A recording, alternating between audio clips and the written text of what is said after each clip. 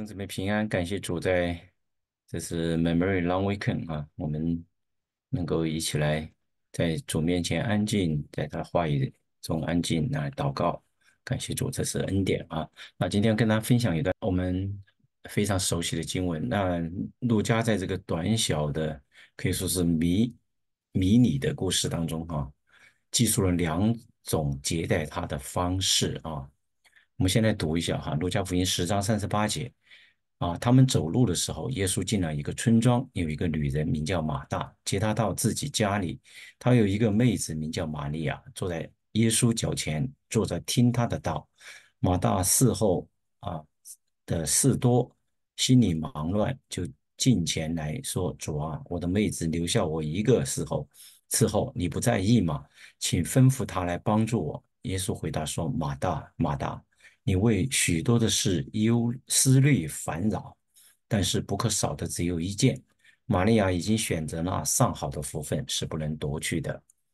啊，那路加讲述这个故事啊，对今天生活在这个啊烦乱的世界当中的我们有什么提醒呢？那马大的侍奉为什么没有得到主耶稣的称赞？耶稣说不可少的只有一件，是哪一件事呢？什么是上好的福分呢？啊，这对我们今天有呃什么样的功课要学啊？相信这段经文对我们每个人都有帮助。我们知道主耶稣与门徒啊进的那个村庄啊，就是博塞大啊，博塞大是位于耶路撒冷城啊城附近的一个小村庄。那路加福音从九章五十一节啊，他的五就五十一节划分了耶稣在世上的。服饰的一个区域啊，那九九章五十一之前主要叙述他在加利利的侍奉。那九章五十一一节啊，那地方说耶稣被接上升的日子将到，他就定义向耶路撒冷去。所以九章五十一节以后就记载耶稣在世上最后几个月的活动，以叙述他走向耶路撒冷、走向十字架。完成救赎大功大功的事件为主，因此路加讲的每一件事、每个故事，实际上都隐含了神子耶稣要为你、为我的罪死在十字架上这个背景。这个故事也不例外。那这个故事非常简单啊，文字非常简洁，但描述也细致生动啊啊。那么我们。对马大的第一个印象就是，哦，他非常的热情，殷勤待客，待客啊，他对耶稣和门徒主动热情的接待，按啊接他到自己家啊，三十八啊节那地方说，显然马大应该已经认识耶稣，很有可能这并不是耶稣第一次来到这个家庭来做客。那这个温呃温馨热情的家庭，对没有枕头的。啊，地方的啊人子主耶稣来说啊，有很大的意义。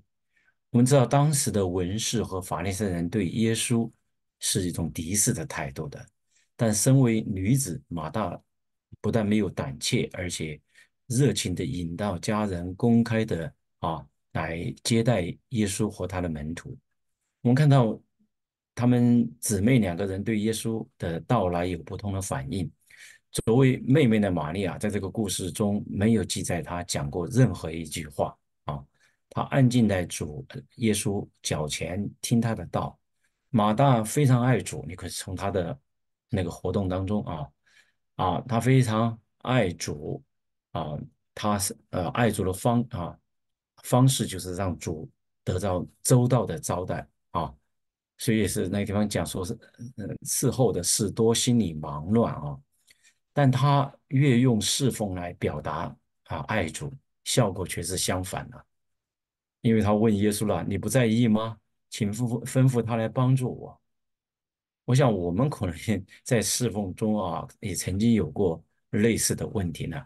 啊，为什么只有我一个人在这里做呢？啊，马大他这么问呢，表明他已经忙到心烦意乱了，以致忍耐不住，抱怨主耶稣和妹妹都不体谅他。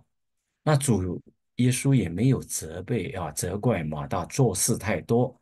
啊，四十一节呢，那地方说啊，马大马大，实际上这是主耶稣刻意用重复的啊这种称呼来表达一种亲切啊啊，只是说他为许多的事啊啊思虑烦扰。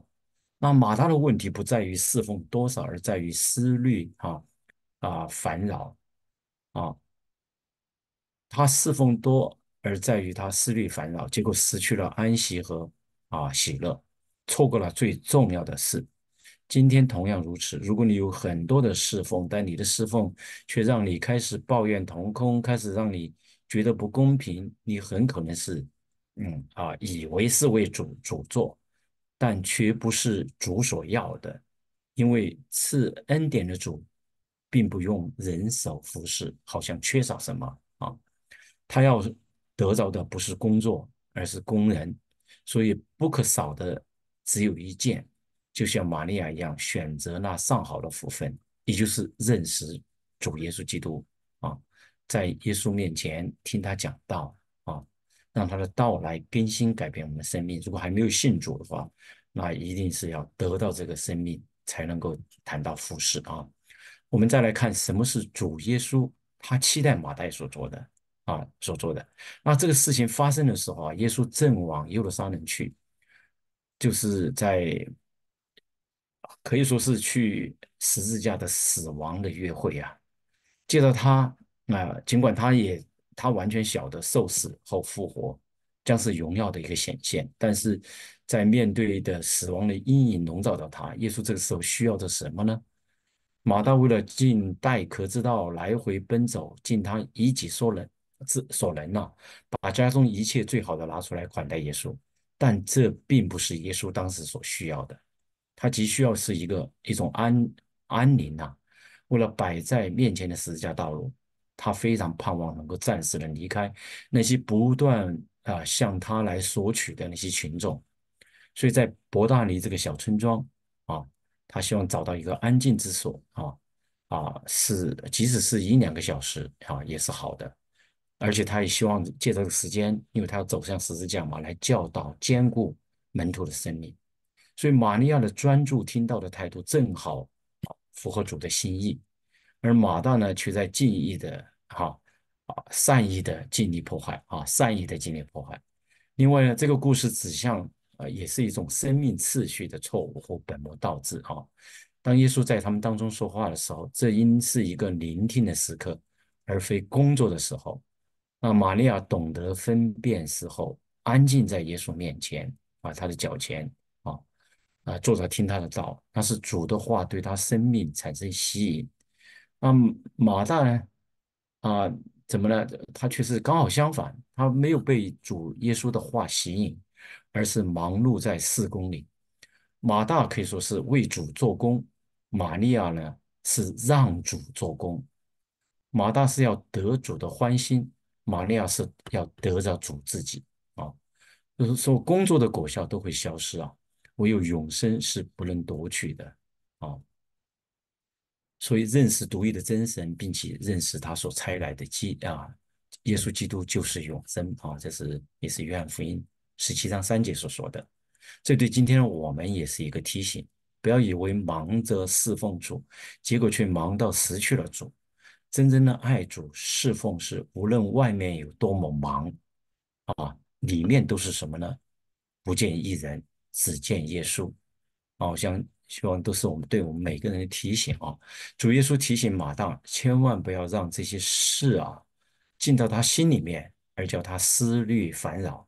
因为思虑烦恼烦恼啊，是由于思服侍的对象不再是主自己，所以马大可以说是在不知不觉当中，也将服啊，已经将服侍的对象从主人身上转向了工作表现啊，工作的表现或自我的期许。那马大很会做事，办事能力强，对事情的要求一定高啊，能干的事啊，能干能他非常能干，所以他使出浑身的解数，想让平日啊啊餐风露宿的主和门徒享受丰盛的招待啊啊，在一片忙碌过后，他这个心力交瘁啊，突然疲倦坐在主面前安舒快乐的妹妹啊，所以他就陷入了这种这种。嫉妒自怜的陷阱当中啊，而更让他沮呃沮丧的是，主耶稣竟然没没有注意到这一点啊，没有为为他的可怜的困境说一句话。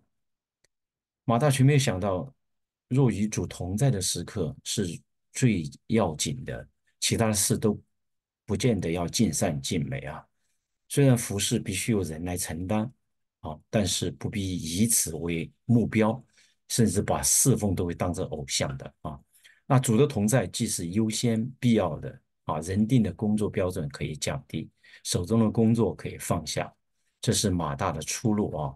所以马大的问题是按照自己的看见，自以为是的啊啊在爱主，玛利亚却是显出人的软弱和不能啊，然而他却有一颗渴慕的心，在主的脚前听他的话。我们有时候总觉得，呃，若爱主的话，一定为要为主做什么事情，却忽略了主看重我们与他的关系啊啊，远重于我们为他做了什么。若没有注重与主的亲密的关系，施工也有可能会发展成为信徒的偶像啊，使属灵的生命不自觉的在其中就被腐蚀啊、萎缩。那怎么知道是不是落在这样的光景中呢？很简单，就用圣经的话来啊验证就可以了。我是不是在某些的侍奉的事情上思虑烦扰呢？可能有时候我们都会啊啊。因而丧丧失了那个喜乐平安呢？我是不是在忙碌的事情当中，时时刻刻都渴慕那上好的福分呢？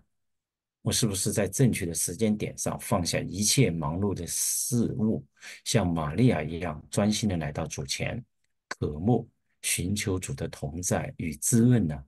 啊，所以弟兄姊妹，基督徒的生活就是这样啊，我们应当。殷勤做工啊，不可懒惰啊，这是神的教导啊。那外面勤劳做事是应该的，但心里必须安静啊，并且只渴慕耶稣基督。所以玛利亚已经拣选了上好的福分，就是与主同在和交通。所以愿我们一起来学习啊，外面的事情可以很忙，但心里面一直是与主有啊交通啊，这就是主耶稣在这个故事。啊，重要我们看见的一个信息吧。求主帮助我们，使我们在所做的一切施工上都有这样的一个啊心态啊，让我们真正啊，让我们所做的啊，能够让我们活主更有更好的、更亲密的关系，更加爱主的关系啊。我们一起来祷告，恩主，我们感谢赞美你。是的。你是我们生命的主，但有时候我们会忘记，我们活在这个取死的身体里面，我们常常有时候会凭眼见，我们不知道什么是你最喜悦的。恩主，就求你让我们每一天在侍奉、工作开始，甚至在度假的开始，我们都与你有交通、有交谈，啊，啊，来亲近主。让我们每一天都从亲近你开始。感谢赞美主。因为你愿意我们和你亲近，谢谢主，我们这样的祷告、仰望、祈求，是奉救主耶稣基督的名，阿门。